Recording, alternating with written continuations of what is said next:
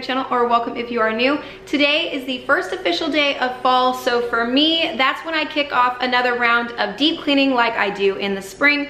I'm not going too far in just yet, but today I'm gonna clean some of the appliances and do some of the areas that I forget around my house as well as I do have some fall themed recipes that I'm throwing in this video as well. If that sounds like something you'd be interested in, don't forget to subscribe if you're not already. Stick around and let's get started. The first thing on my list is my errands. I'm just gonna go ahead and knock that out real fast, get all that done, and then I will get back and start with all the cleaning. Back home, got Dunkin' Pumpkin, and we had to go to Aldi, but this is one reason why I get decaf because she's a fiend. Just do a quick rundown of this. We were out of apples and crockpot liners. That was one of the main reasons that we had to go.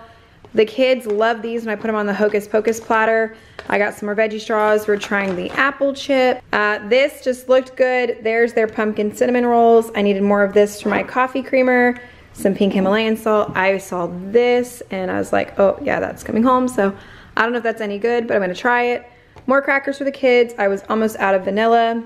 This was one of the other main reasons we went. I need this for dinner tonight. I love pierogies, never tried theirs, so we are.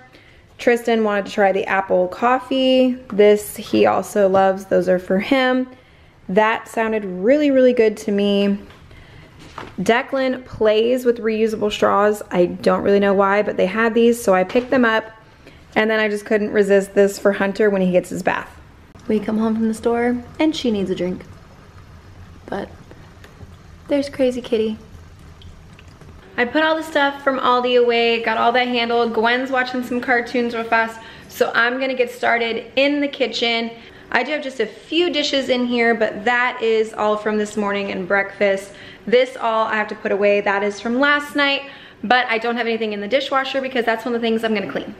I had the equivalent to this for the dishwasher and I cannot find it to save my life, but I need to get this out anyways because I even skipped August on my washing machine. So I am going to deep clean the, the washing machine today for September and for the start of fall, but I can't find my Affresh, but I do have a way to clean that still. So first things first, you need to actually find where your filter is. Mine is actually hiding in there. So I need to take all that out, clean it, put it back, and then I can put the vinegar in. And to show you what I'm gonna do here, this is just a glass dishwasher safe bowl. I'm gonna put somewhere between a half a cup and a full cup of just some white vinegar in here. And then you're to find wherever it will fit in your top rack, like mine fits right there in the center. And that's where I'll put that to run a cycle.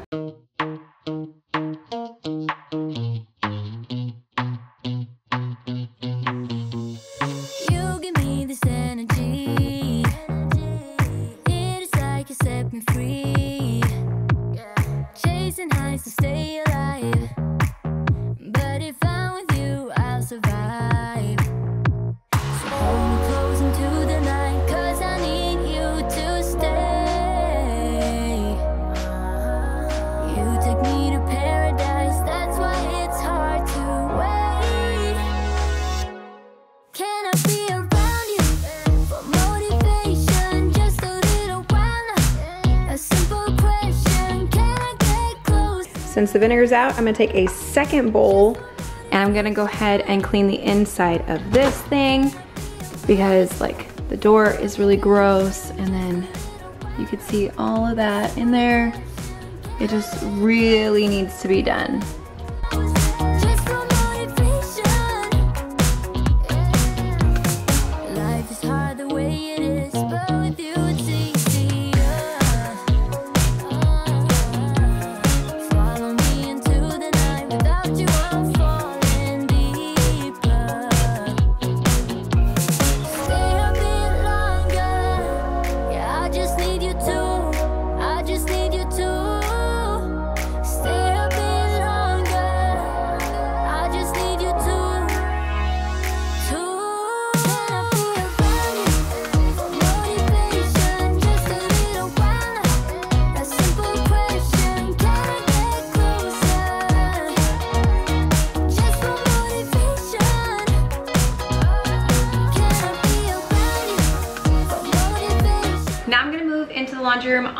Both of my machines can use a deep clean and I'm going to do that and I'm gonna show you what I mean here in a second. But these things are crazy simple. It's just one of these little tabs and you open it up and you put it into the drum of your washer and then you just run your washer on your clean cycle.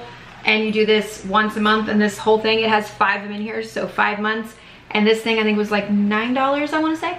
But this is what I mean when I say that they both need a deep cleaning. Like, there's so much dust and stuff in all of the hinges. The glass needs to be clean all of it needs to just be clean. But then when I was opening it up and really paying attention yesterday, that is just gross. I'm not even sure what that is. And now, before I even show you this, I don't put bleach in my clothes, in anything like that. So I never pay attention to this little slot and look in there.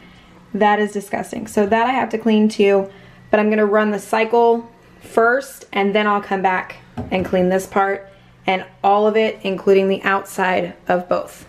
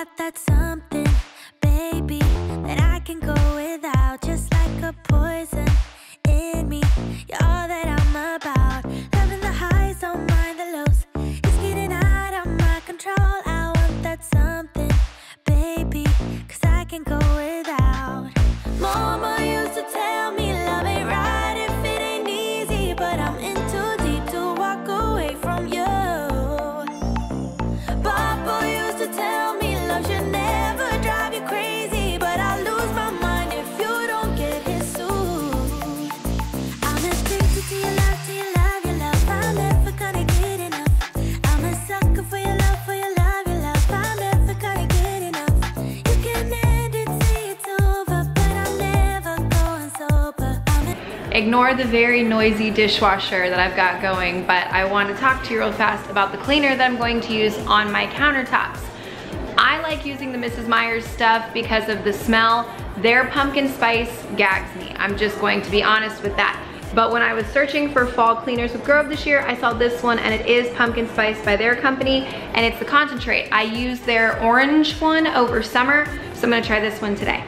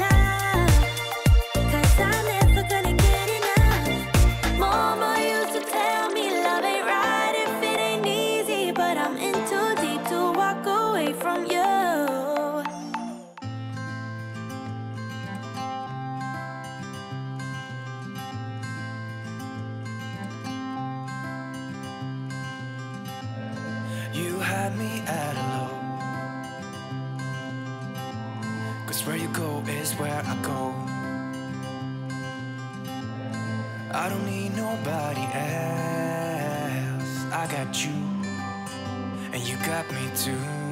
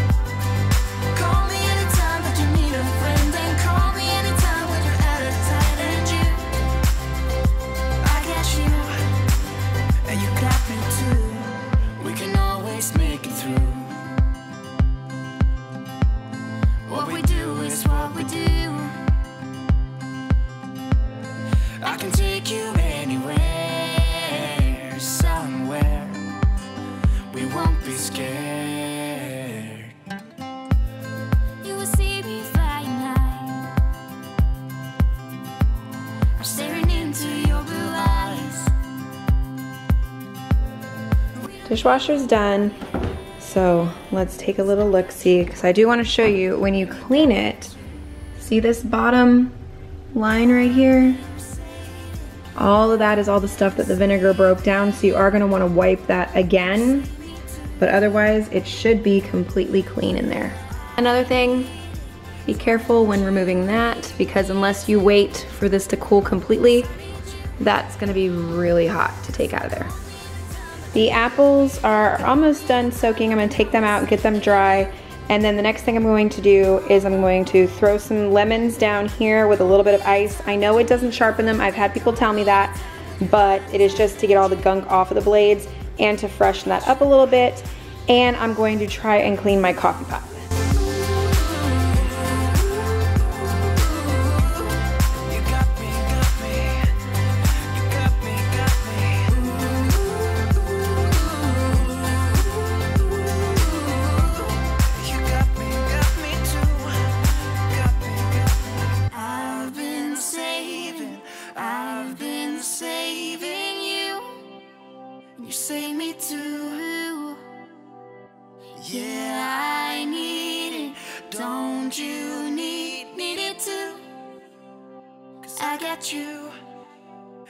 Got me too. Just got the kids home from school and that's what I was waiting for to do one of the sweet treats, which Gwen is back there just infatuated with. And I'm gonna show you what it is. And how you can tell that Aiden is home from school because the dog immediately wants to go outside and will not stop until Aiden takes him. If you've been around my channel for a while, you know that every Halloween I make bark. The kids look forward to it every year. So this year we're using sprinkles, the eyes like we always do, M&Ms, some random assorted chocolate candies. I'm just using some semi-sweet chocolate chips. You can use any base you want to. And then these are some Halloween pretzels that I found. The easiest thing to do this, especially if you're gonna let the kids help you, once you melt the chocolate, parchment lined baking sheet to pour it out onto and smooth it out. And then take whatever toppings you're gonna use and put them in little bowls so the kids can just place them. I kind of put the eyeballs together on the thing so they look like a pair of eyes. But I've opened up the pretzels, made sure none were broke. They're little pumpkins and bats, they're so cute. And then I will cut these up into either thirds or quarters depending on how big or small you want them.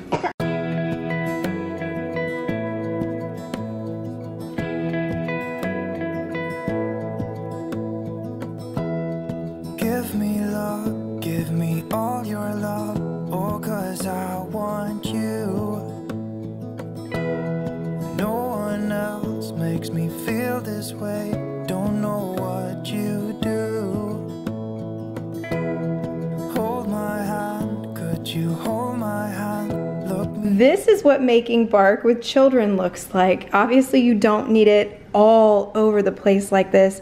And this is Gwenny's corner where she just kept throwing things, but I mean, either way, the kids really like it. It's got a bit more than I would put on there, but either way, they'll be happy. All right, I want to show you guys. Gwenny, show 'em. What are you? I Gwen. No, what is this? I'm good. You're a witch. Yeah, I found these at Marshall's over the weekend. It's a little mommy and me set. I couldn't find two, otherwise I would have bought them and just gave the adult to my mom and this other one to Bree. But now the girls got to share until I can hopefully find another one. But I just think they're so cute. Do you like it?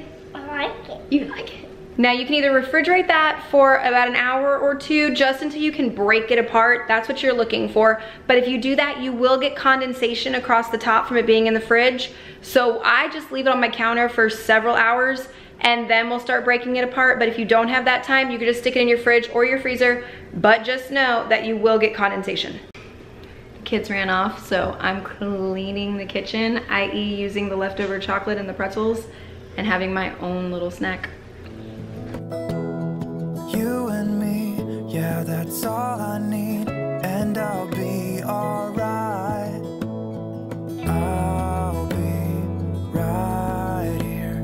Swear that I'll stay here with you. Hold me close. When cleaning the coffee pot, just make sure to run two full cycles of just plain water to get all the vinegar taste out of there. And also when you're pouring the water back in, make sure it's not set to brew, otherwise it'll do that. And then just wash the pot, the lid, the filter, everything in some hot soapy water to get any of the rest of the residue out.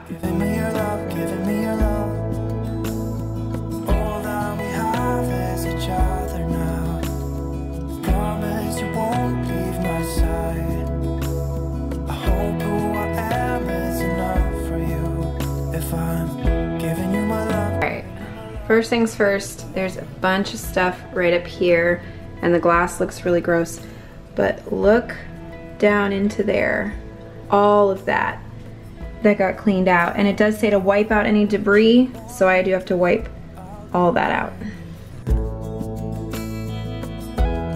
As long as I can be here with you, everything's alright.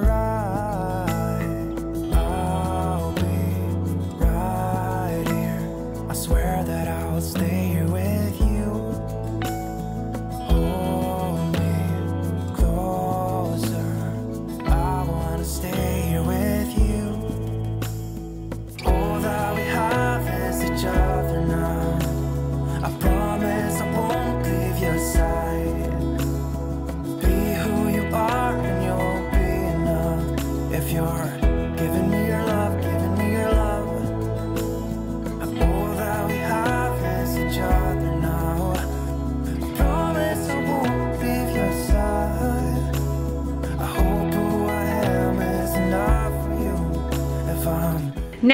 Talk about dinner. I like to have a, you know, a fall themed dinner if it's gonna be the first day of autumn. So I'm gonna share with you guys the really simple one I'm doing tonight. Here is everything I need for dinner. That's just some garlic bread I'm gonna make at the end. And otherwise, just some seasonings to make this more flavorful. But this is all I need. Every year in fall, I go for one massive trip to Trader Joe's. And this sauce right here is delicious. And I'm just gonna cook this up like I would almost like a meat sauce for spaghetti with that and some noodles. I will say you do not have to use ground turkey or ground chicken. I just prefer poultry with that sauce, but again, you can use sausage, you could use hamburger meat, whatever you want with that sauce if you pick up a bottle. I just personally prefer either ground turkey or ground chicken. This particular jar of sauce can be very thick, so if you don't like that and you wanna thin it out some, just make sure to keep some of your pasta water before you drain it, and then you can add that in over there. So all I do is throw the sauce and the pasta together and serve it like that. A little bit of shredded Parmesan over the top. That works really yummy too. And then some garlic bread, but that's dinner and it is pumpkin and butternut squash, so it does fit for fall. And there it is plated. My daughter just asked if it's pumpkin. I say, no, I don't believe you. That's what I get told, but there's what it looks like all nice and plated. I want a piece with everything in there. I want a piece with everything in there. Move on to the actual pumpkin dessert for today. These are just the items that you're going to need. Just some salt, pumpkin pie spice, vanilla, a whole can of pumpkin, three eggs, some sugar, and then the top of it is just flour, cinnamon, butter, some of the salt and some of the sugar, but I'm not putting those together over there. And you do need heavy cream. If you do not have heavy cream, for every one cup of it, three quarters of a cup of 2%, and then a third of a cup of melted butter mixed together. Once they're both cooled, works. The ingredients for this are basically one entire can of pumpkin, one cup of granulated sugar, three eggs, and yes, my little assistant is gonna help me along the way, two teaspoons of pumpkin pie spice, a half of a teaspoon of salt, two teaspoons of vanilla extract, and then it is two thirds of a cup of the heavy cream. I screwed up and I used a full cup. I did not notice a difference, but that could have been why my topping wasn't as crumbly. So it is two thirds of a cup of the heavy cream. But whisk all the ingredients together before adding the heavy cream and then whisk that in separately before you pour all of it into a greased baking dish. You could use a 13 by 9, a cast iron pan. It really doesn't matter however you want, but the thickness is what you have to be concerned about when you're baking it. It will increase your time the thicker your batter.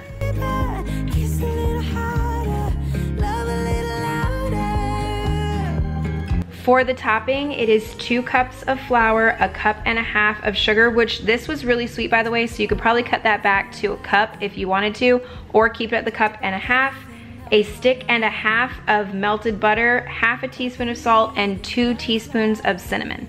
You're gonna beat that together with like a stand mixer, hand mixer, whatever you want until it's a crumbly consistency and then just sprinkle it all over the top of this thing. Bake it at 375. Mine took almost an hour. It took about 55 minutes, but start checking yours depending on thickness, stick a knife in it, and when it comes out clean, it's done.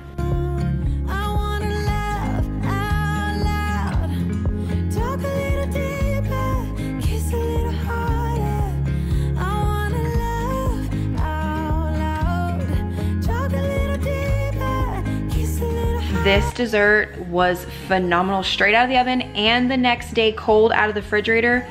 Delicious. We only had whipped cream to put on it, but if we would have had vanilla ice cream, I think it would have been even better, but this thing was perfect.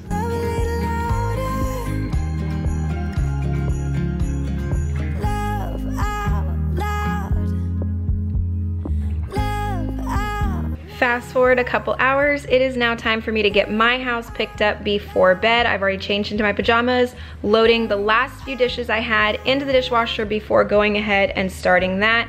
Putting away any leftovers from dinner or that dessert, that pumpkin pie crisp, I cannot recommend that more. It was absolutely perfect and I'm thinking about making it into the Thanksgiving rotation this year. That's how good it was. But then I'm just going to read the girls a book, put Declan to bed, put all the kids to bed, and go relax. Thank you guys so much for watching this one. If you enjoyed it, don't forget to thumbs up, subscribe if you're not already, and I will see you guys in the next one. Good night. And as my girls book for the night says, happy fall, you guys.